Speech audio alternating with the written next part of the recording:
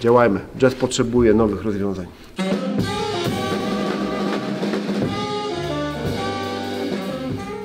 Mam przyjemność porozmawiać z Sylwestrem Ostrowskim, człowiekiem, który jest nie tylko znakomitym saksofonistą, ale też w zasadzie człowiekiem orkiestrą, jak to można o nim powiedzieć. Mam przyjemność porozmawiać z Dominikiem, który jest uzależniony od jazzu jak od nikotyny. Sylwek, jesteś nie tylko znakomitym saksofonistą, ale też przede wszystkim, może nie przede wszystkim, ale również animatorem jazzu w Szczecinie, twórcą festiwalu Szczecin Jazz Festival i mógłbym tak jeszcze długo wymieniać Twoje zasługi dla jazzu w regionie, w Szczecinie, ale może na tym przestańmy. Chciałem Cię zapytać, jak to się zaczęła Twoja przygoda z muzyką? Jak to się wszystko zaczęło? Mój tata grał na saksofonie, także muzyka była w moim domu rodzinnym. Tata był muzykiem, razem z braćmi grali na imprezach tanecznych, na weselach. Ale muzyka na żywo była u mnie obecna w domu. Również rodzice taty, czyli dziadkowie ze, ze strony taty grali. Więc tak się spotkałem z muzyką. A jeśli chodzi o jazz, to kiedyś dawno temu, w XIX wieku, w XX wieku, dawno temu. w XX wieku poszedłem do klubu e, studenckiego Pinokio na koncert w ramach cyklu e, jazzowego, mm, poni- poniedziałków e, jazzowych. I to był koncert Zbigniewa Namysłowskiego. I tak już z tego koncertu wyszedłem jako zdeklarowany fan jazzu i też zdeklarowany miłośnik.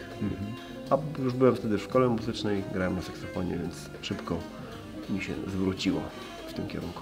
Ukończyłeś e, Akademię Jazzu w Katowicach, Wydział Jazzu, Akademię Muzyczną, ale to nie ona ukształtowała tak naprawdę Ciebie jako muzyka, ale spotkania z ludźmi i granie z ludźmi. No, tak, ja studiowałem w, Katowicach na, na zaocznych studiach. Nie chcieli mnie tam przyjąć na dzienne. A wtedy to były takie czasy, że, że po pierwsze to była jedna uczelnia w Polsce, e, a po drugie, jak się nie, człowiek nie dostawał na studia, to go brali do wojska jeszcze w tych czasach.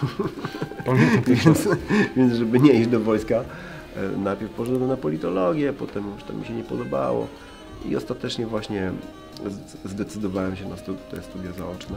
Natomiast z biegiem czasu teraz widzę, że to było dobra, dobre rozwiązanie dla mnie, bo szybko zacząłem pracować zawodowo, ale pracować w tak zwanym zawodzie, czyli szybko zajmowałem się muzyką jazzową, tylko i wyłącznie. Czyli y, zacząłem tworzyć tą rzeczywistość wokół mnie, tak jakbym sobie to powiedzmy wyobraził czy wymarzył. Więc powstało stowarzyszenie, festiwal, klub jazzowy w międzyczasie. No i zacząłem zapraszać różnych muzyków do współpracy do Szczecina, ale też później zacząłem jeździć do różnych muzyków poza Szczecin, poza Polskę. I tak bardzo szybko, a to były jeszcze czasy, kiedy e, social media nie istniały. Internet był obecny, ale nie aż tak bardzo. E, Nie było autostrad w Polsce i samoloty były tylko i wyłącznie zarezerwowane dla posłów. Czyli mówiąc kolokwialnie, Szczecin leżał bardzo daleko od Warszawy. Wszyscy w Warszawie, jak słyszeli Szczecin, o Jezu, za daleko. Więc ci z tej Warszawy nie chcieli za bardzo, nie byli zainteresowani współpracą. Co też okazało się dla mnie e, w jakiś sposób e, po, podyktowało moją, moją karierę zawodową, ponieważ bardzo szybko zacząłem zwracać się ku muzyków spoza Polski. I to byli muzycy, y, którzy byli związani z Paryżem na początku. Tam też poznałem wielu amerykańskich znakomitych muzyków jak John Batch, jak Steve McCraven, jak Archie Shepp, Wayne Dockery, którzy właśnie tam mieszkali, a później poprzez nich zacząłem poznawać e, Nowojorczyków. E, również Piotr Wojtasik, mój, mój, mój przyjaciel, mentor, pomagał mi w tych kontaktach. Więc e, mm, dlaczego to nie studia ukształtowały mnie, a, a spotkanie z ludźmi? Ponieważ tak wyszło w moim życiu, że, że bardzo szybko miałem kontakt z takimi legendarnymi światowymi artystami, którzy mieli o wiele więcej do zaoferowania dla mnie, w moich, w moich oczach, niż nawet najlepszy program edukacyjny na uczelni, chociażby tak renomowanej jak ta, którą ukończyłem. Mówiąc wprost, jazz wywodzi się z, klubu jazzowego.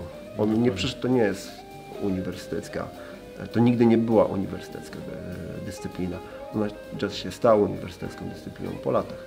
Natomiast wciąż to, co najwartościowsze, e, moim zdaniem można znaleźć właśnie grając z muzykami na scenie.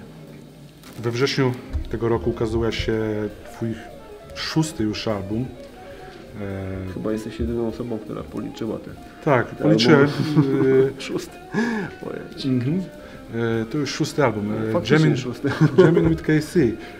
On w sumie się ukazuje dopiero teraz, za parę dni, natomiast we wrześniu, tak jak, tak jak wspomniałeś, został dołączony e, jak dla prenumeratorów magazynu Jazz Forum. Mhm.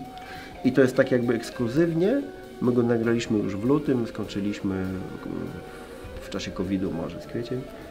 Został wytłocz, płyty zostały wytłoczone w, i załączone do Jazz Forum we wrześniu, a oficjalna premiera za parę dni, bo w, teraz w ten piątek, 16 października i będzie i CD, i będzie na streamingach, także zapraszamy. I na płycie winylowej. I płytę winylową, którą Ci obiecałem i wręczę osobiście z podpisami.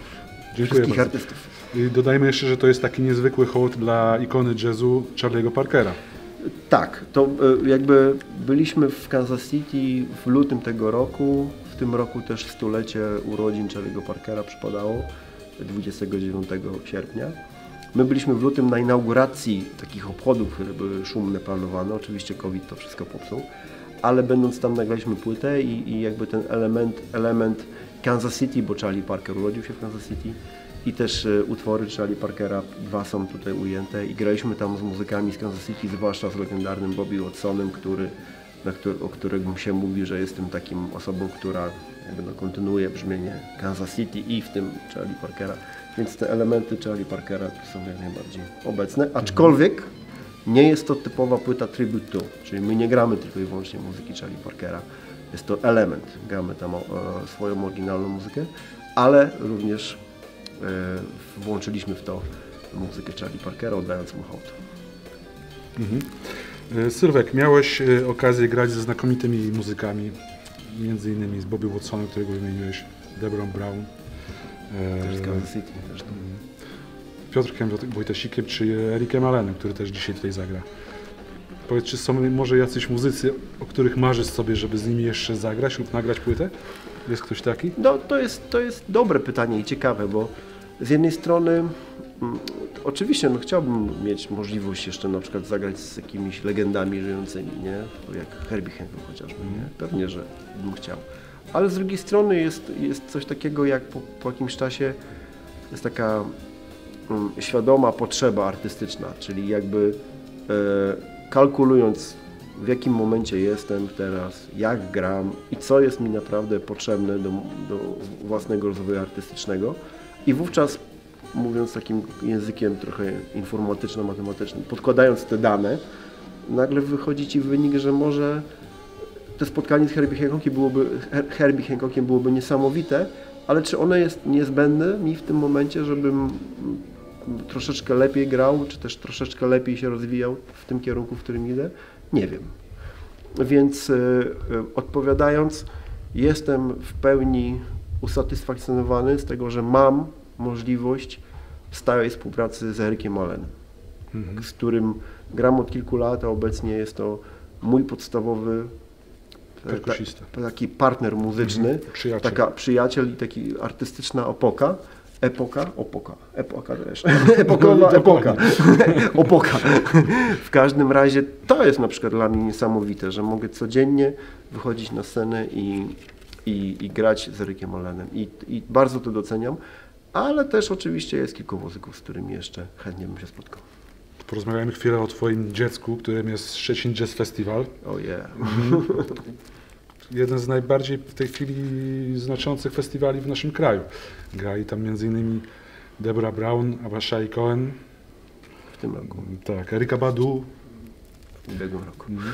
Mógłbyś zdradzić, y, kto ewentualnie miałby zagrać w roku 2021? No, sytuacja jest skomplikowana, bo jakby pytanie jest, czy Amerykanie będą mogli wjeżdżać do Unii Europejskiej więc to czekamy. Jeśli z pewnością są artyści, którzy są w kolejce, którzy mieli być w tym roku. I tutaj myślę przede wszystkim o zespole The Cookers i Billy Harperzek, który Billy miał przyjechać w tym roku i dać koncert z Cookersami z okazji dwudziestolecia istnienia zmagań jazzowych, które można powiedzieć Szczecin Jazz wyrósł ze zmagań. To była impreza wcześniejsza przed Szczecin Jazzem, którą też produkowałem. I To jest Twój pierwszy koncert w naszym mieście, w Pyrzycach, ale ciekawostką jest to, że występowałeś już trzy lub cztery razy w e, nieodległych Przelewicach. E, Przelewice przelewicami, ale Pyrzyce. Proszę zobaczyć, jaka piękna sala. Także wszyscy Pyrzyczanie, mam dla Was odezwę, można powiedzieć, apel. Przychodźcie na koncerty do, do Domu Kultury, a przede wszystkim na koncerty jazzowe, ponieważ Dominik, uzależniony od jazzu jak od nikotyny, e, razem z dyrektorem Rafałem Rogoszką, którego zresztą bardzo dobrze znam z czasów szczecińskich, planują szereg koncertów tutaj tak, jazzowych. mamy i- nadzieję, że to dopiero początek y, jazzu w Pyrzycach. Macie- Dużego jazzu. macie nasze wsparcie i działajmy. Jazz potrzebuje nowych rozwiązań. Dziękuję bardzo za rozmowę. Dzięki.